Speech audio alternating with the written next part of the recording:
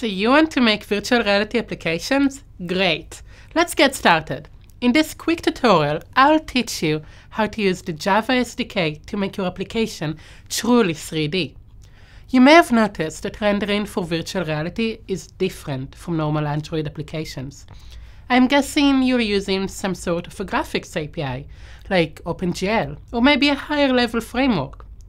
If you haven't thought about that yet, then take your time to decide. It is really important to get it right. Our own treasure hunt demo is using OpenGL ES 2.0 for rendering the graphics in 3D. Now that you have decided on your renderer, it is time to download the SDK. Got it? Let's go. The first thing you need to do is add some tags to your manifest file. Cardboard requires use of API level 16 or higher.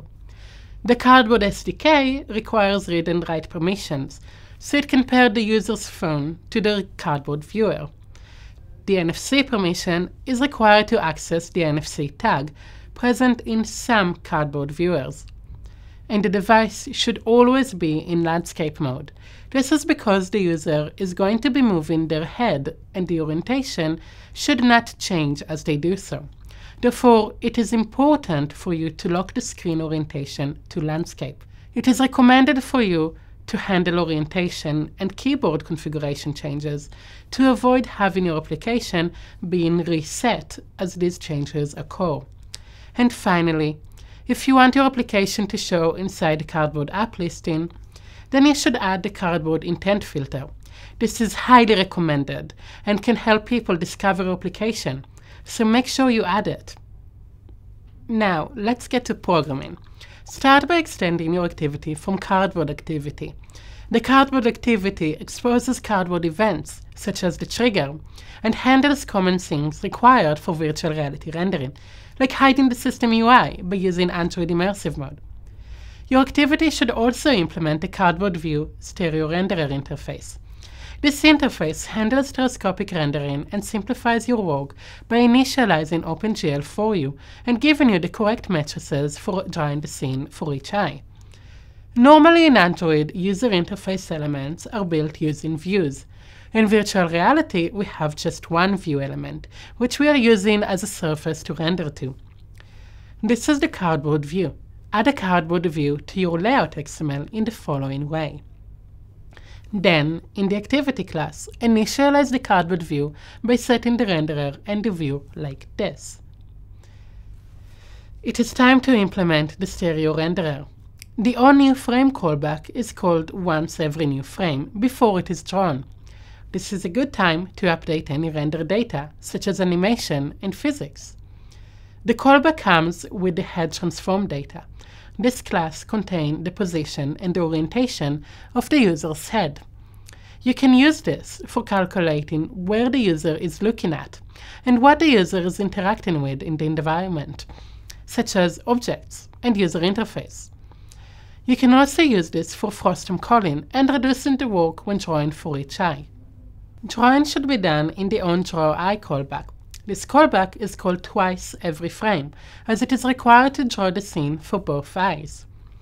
The call contains the eye class. Inside is the view matrix, offsets, and orientation for the eye being rendered. This data correctly offsets the camera's position for the eye, creating the stereoscopic effect. Note that a viewport is also set for you, dividing the screen in two halves, again, one half for one eye. Simply combine the eye matrix with your own view matrix for correct rendering. Now that we have rendering working, let's talk about input. While looking around can be fun, it is more fun if you can interact with the environment. That is why Cardboard has the trigger. To use the trigger, simply implement the onCardboard trigger callback. This will be called as the user activates the trigger. Remember that you only have one button, so make sure to use it wisely. Make everything work by context. Looking on a button and using the trigger should activate a button. However, if the user is looking somewhere else, you'll want to make something else happen instead, or maybe nothing. Sometimes it is enough to activate things only by looking at them. For example, a button can animate as the user looks at it and activate its action after a second or two.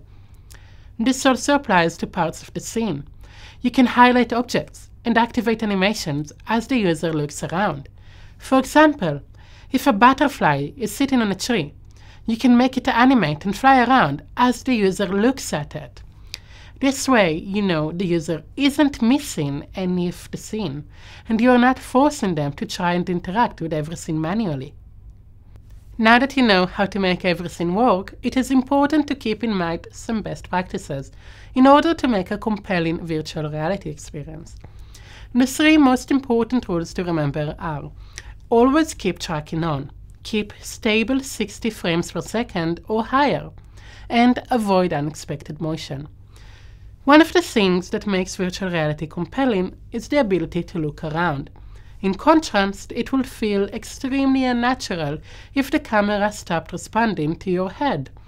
Therefore, you should always take into account the user's orientation and never freeze the camera or force the user to look somewhere specific. If you want to grab the user's attention, use cues, such as light and sound, to direct them to look where you want. You can also delay activating an event in your scene until you know the user had turned their head in that direction. That way, they have time to take things in and enjoy the scene. You must always keep the 60 FPS or higher. Not only does it contribute to a good user experience, but it is even more crucial in virtual reality.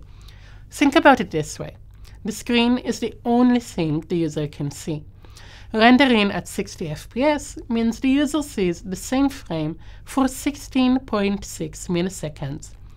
If you miss 60 FPS, VSync drops you to 30 FPS, and each frame is shown for 33 milliseconds. That means as the user moves their head, they are getting an incorrect image for a very long time. This is why it is very important for virtual reality applications to be fast and responsive. Movement can be tricky because the user does not feel like they are in motion. If the world starts moving around, it can contribute to an odd feeling if there is discrepancy between one's actual lack of movement and what the user is seeing. There are ways to convey movement safely, for example, by keeping motion constant and avoiding acceleration or by using another object and making it move first or creating a path for the user to see. This signals to the user they're about to be moved and subconsciously prepares them. There are many more ways to ensure a good user experience. I recommend you to check out the Cardboard Design Lab application to learn more about good and bad design patterns so you can create the best user experience in your game or application. Good luck with making your own virtual reality experience, and make sure to post about it in our Cardboard community.